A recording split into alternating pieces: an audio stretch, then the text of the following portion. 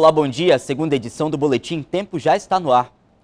E ontem, os mototaxistas legalizados fizeram uma manifestação em frente à sede da Prefeitura na Compensa, zona oeste da capital. Eles cobraram mais fiscalização contra os irregulares. Por causa disso, o trânsito ficou bem complicado naquela área.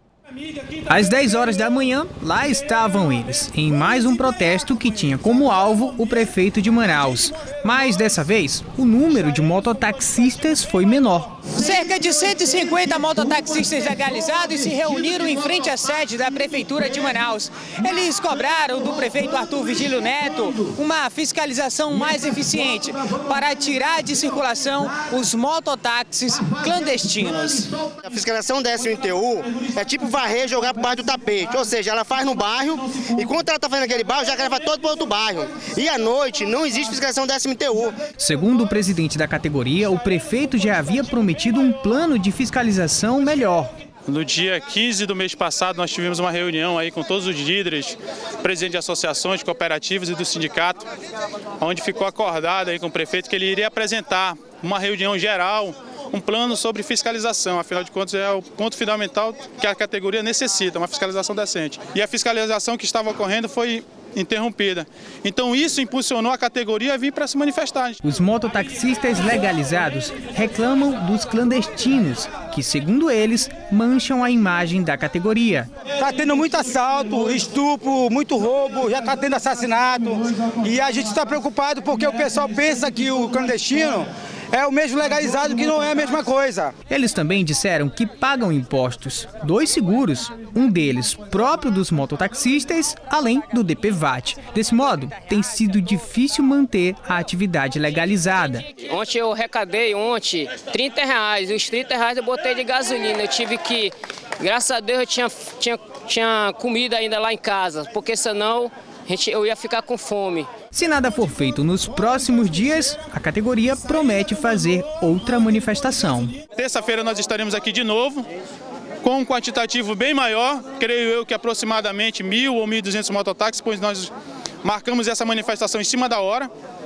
E com certeza a categoria vai aderir, mesmo porque hoje o, o, o índice de inadimplência, o índice de, de, de, de dívida de nossa categoria é muito grande. Por causa da manifestação, o trânsito da Avenida Brasil foi desviado para outras ruas. Um grupo ligado à facção criminosa Família do Norte foi preso no Mauazinho, zona leste da capital. Com a quadrilha, a polícia apreendeu armas, munição, drogas, além de dinheiro. As sete pessoas foram presas em locais diferentes da capital durante a Operação Mauá, deflagrada pela Polícia Civil e realizada em parceria com a Polícia Militar.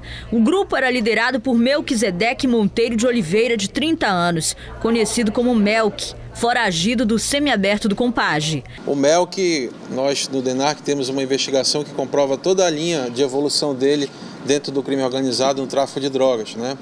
E ele chegou a ocupar o posto de gerente e hoje, com a prisão do narcotraficante João Branco, ele passou a comandar todo o Mauazinho, que é o berço do traficante João Branco. Com eles, a polícia apreendeu armas, entre elas uma metralhadora, drogas e R$ 10.500 em dinheiro.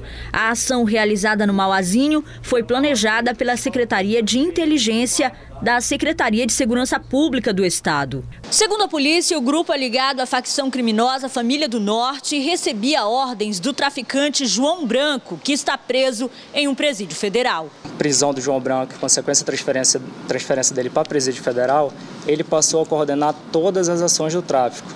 Só que, em razão de uma disputa intensa com uma outra facção também naquela região, ele saiu do Mauazinho então ele estava residindo numa outra comunidade, no bairro Braga Mendes, mas de lá, à distância, ele coordenava a distribuição, a venda e a arrecadação do dinheiro decorrente do tráfico de drogas. Para os policiais, o tráfico se espalhou pelo Mauazinho, que hoje é comparado pelos investigadores como uma favela do Rio de Janeiro. A polícia investiga outros envolvidos no esquema.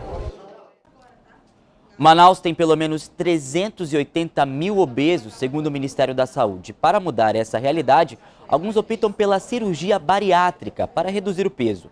Mas a dobradinha, reeducação alimentar e exercício físico ainda tem sido a opção mais escolhida. Lucilene Araújo começou a engordar ainda na adolescência. Com 30 anos, ficou grávida. Depois do nascimento do filho, sempre viveu na briga contra a balança, até chegar ao limite, 105 quilos.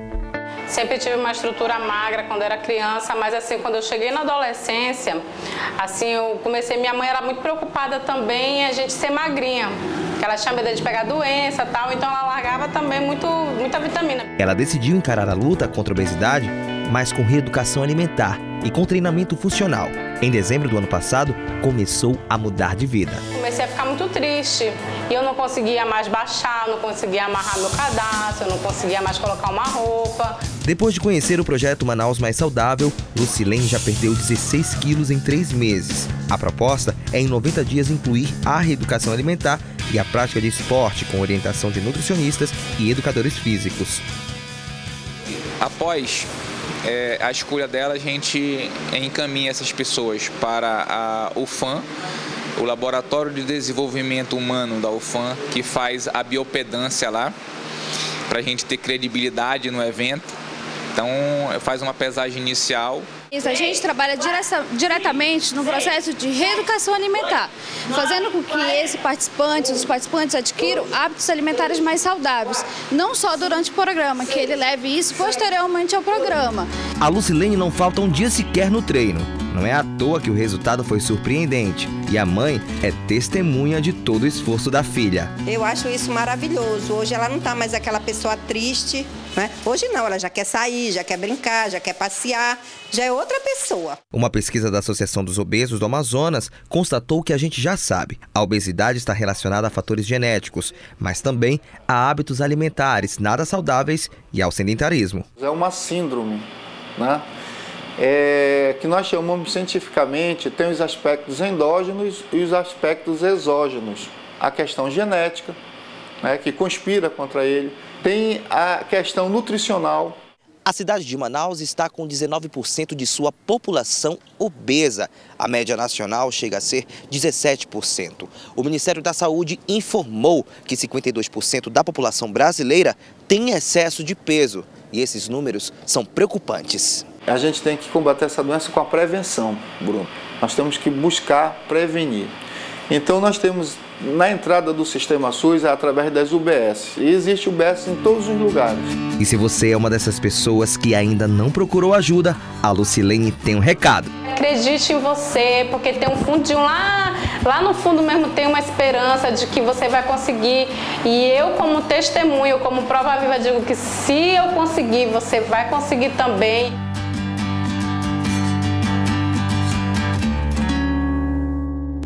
A segunda edição do Boletim Tempo termina aqui e até amanhã.